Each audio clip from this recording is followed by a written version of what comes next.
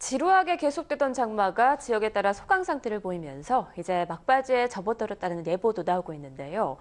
비가 계속 내린 탓에 농작물의 생육 부진과 병충해 발생이 우려되고 있습니다. 김학무 기자가 보도합니다. 푸른 잎이 싱싱해야 할 콩잎과 줄기가 연약해 보입니다. 심한 건 잎과 줄기가 검게 메말라 죽어가고 있습니다. 장마로 흙에 있던 세균 때문에 역병이 생긴 것으로 수확량 감소로 이어지고 있습니다. 이를 막기 위해선 무엇보다 방제약을 밭 전체에 살포하는 게 중요합니다. 콩뿐만 아니라 깨, 고추, 수수 등도 역시 장마 끝 무렵에 미리 방제 작업을 하는 게 좋습니다.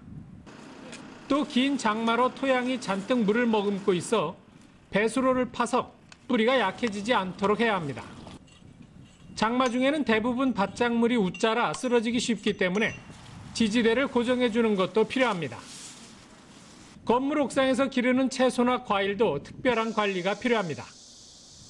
웃자란 가지는 묶어주고 변색된 잎은 미리 제거해야 생육에 지장이 없습니다. 쓰러지면 그 수확 작업이나 전체적으로다가 이제 그 수확량도 이제 감소하게끔 해주면서 병해충 같은 경우는 특히 그 비가 온 후에 그 온도가 갑자기 올라가게 되면 그 많이 그 확산이 이제 되고 있습니다. 그래서 그때 바로다가 이제 방제를 해주시는 게 좋습니다. 요즘 과수원에서 가장 필요한 작업도 병해충 방제 작업입니다. 탄저병을 비롯해 썩은 병이나 낙엽병, 잿빛 무늬병 등 다양한 병해충을 막고 가지치기를 해줘야 질 좋은 과일을 생산할 수 있습니다. YTN 김학무입니다.